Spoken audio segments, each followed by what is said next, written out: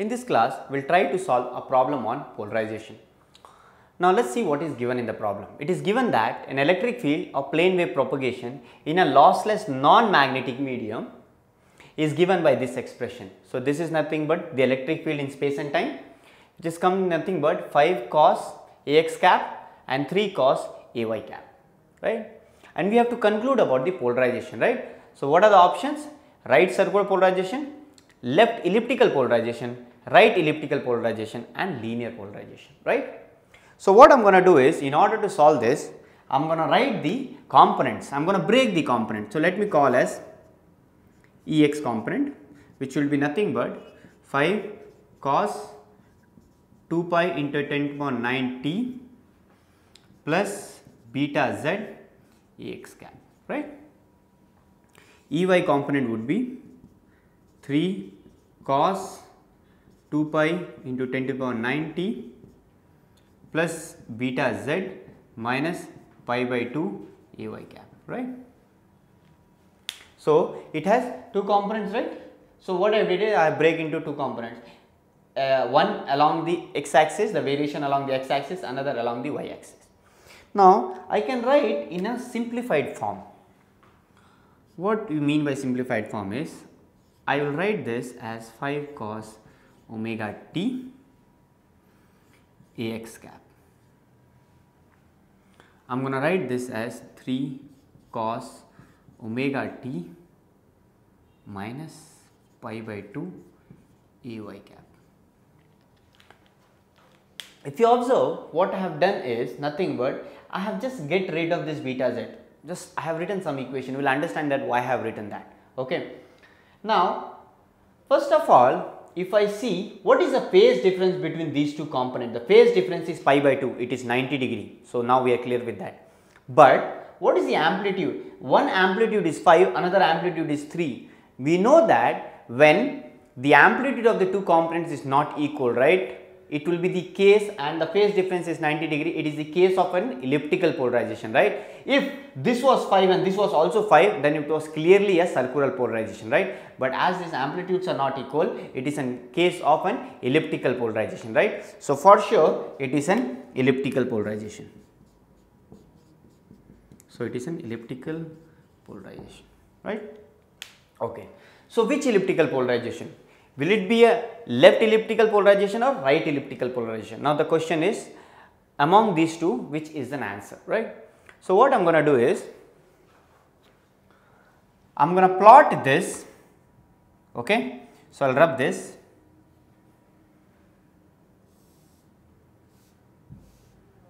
So, it is an elliptical polarization. Let me write it again. So, this will be 5 cos omega t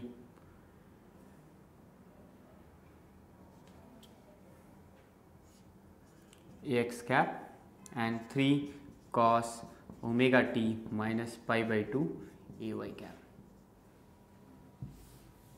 Right. So, what I am going to do is I am going to put the values after substituting omega t equal to 0, omega t equal to pi by 2 and omega t equal to some pi. So, what I am doing is I am gradually increasing the omega t 0 pi by 2 you can put it pi and then 2 pi and you can see, see that what will be the value. At omega t equal to 0 Ex would be what? Your Ex would be nothing but cos 0 is 1 so this will be 5 Ex cap.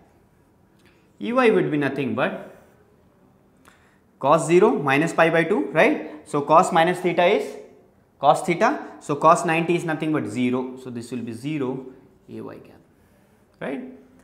If I substitute omega t equal to pi by 2 what will happen? This will become 0 right cos pi by 2. So, this will become Ex will become 0 Ax cap and Ey will become pi by 2 pi by 2 equal to pi by 2 minus pi by 2 0 cos 0 is again 3. So, this will be 3 Cap right. You can again keep on going that right we do not need it even though if you want to you can test this value okay even this is enough to conclude the type of polarization right. So, let me see what I am going to do now. The first thing is the moment you have done this right? The moment you have done this, what you have to do is, you have to mark some x's. What is an axis I am going to mark? The variation is along the x and y. So, I have to mark the x and y axis.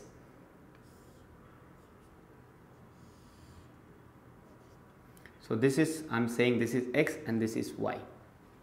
Okay. So, randomly I mark some 2 x and y axis because the component which axis I mark based on the component variation right. One is along the x axis another is along the y axis. So, I mark x and y axis. Now, by applying the right hand rule right by applying the right hand rule right we have to find which will be the z axis right. I will take my right hand okay. We know that the four fingers should be pointing in the direction of x the middle finger should point in the direction of y and the thumb should point in the direction of z, right. So, I will do the same thing. Four finger in the direction of x, the middle finger in the direction of y and this is z. It means what? z is pointing outward, right. If you see z is pointing outward. So, my z will be outside, right. It is an outside. Okay. So, I have marked the x, y and z axis. The next thing is I have to see this. When omega t equal to 0, I have an magnitude of 5 along the x axis. If I mark that, it, let us say it is somewhere here. This is 5 unit, let us say it is here. If I put and then what was the what was the magnitude of Ey? It was 0. So, again this line, so there is no point. At omega t is equal to pi by 2, EY you have a EY component which is along the 3 unit along the plus y axis. Remember it is along the plus y axis. Let us say it is a here, right. Again if you observe, okay, what else I can do is, if I put simply because I though I did not do it, if I put omega t equal to pi, okay. For example, if I put pi here, what will happen? Cos pi is minus right. So, this will become Ex will become minus 5 because cos pi is minus 1. So, minus 5 Ex cap right and Ey would be what? If I put pi here pi minus pi by 2 comes out to be pi by 2 Ey would be 0. I'm Just gradually I am just moving the value of omega t and plotting this.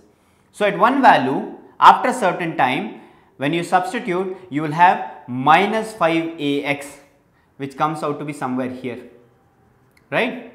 So, what I am saying is as I am gradually changing omega t from 0 pi by 2 everywhere you can take intermediate value also. You can take pi by 4 also. There is no constraint. Can I say that I am moving like this? Right? Initially I was like this. As I gradually start changing the frequency uh, omega t I am moving like this. Right. Now, this is some circular movement is happening, right. Now, I have drawn this based on this. Now, I have to conclude the type of polarization. In order to conclude the type of polarization, what you need to do is, you have to take your right hand and left hand both, okay, and point the thumb in the direction of propagation and see which curl satisfy this condition, okay. So, in this case, let us say that the direction of propagation is what? It is beta z. So, it is it is plus beta z remember. When it is plus beta z it is propagating in which direction? The wave is propagating in minus z direction right? How we how we said that? Remember the basic equation? What was the basic equation? E is equal to E naught cos omega t minus beta z right? Ax cap so, in this it is minus beta z, when it is minus beta z it is propagating in plus z direction right, but in this case it is plus beta z. So, it is nothing but this wave is propagating in minus x direction. So, what we can say that wave is propagating in minus x direction. This is our conclusion. Okay. So, what I need to do is I have to point the thumb I, you can take both the hands and point in the direction of propagation. So, in this case which is the plus z? Plus z is outside right. So, plus z is outside. But where is the propagation happening? Propagation happening is opposite of plus x right. If the plus x is coming out of the board then minus x will go inside the board right. Agree?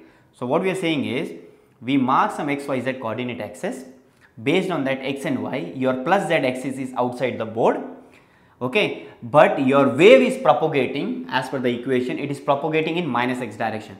So i have to point the thumb in the direction of propagation. So the thumb is going inside right? You can see that? I'll put my curl hand and i'll try to make a curl right? Can is this curl satisfying this condition? The answer is no. This curl is going like this right but this is like this so this hand or basically my right hand is not satisfying this if I take my left hand, point the thumb in the direction of propagation which is inside the board, right? And I will rotate my fingers. What is this? This curl is satisfying right now, right? You can see that? So, which is left hand. So, this is nothing but we already concluded it is an elliptical polarization and this is nothing but your left elliptical polarization. So, we have concluded this is nothing but a left elliptical polarization. Okay, this was very important that how we concluded the polarization.